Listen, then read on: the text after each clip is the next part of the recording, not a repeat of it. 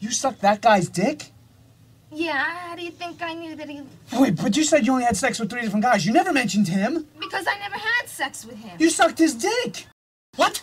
Something like 36? Lower your voice. Wait, what is that anyway? Something like 36. Does that include me? Um, 37. I'm 37? Going to class. Oh my god.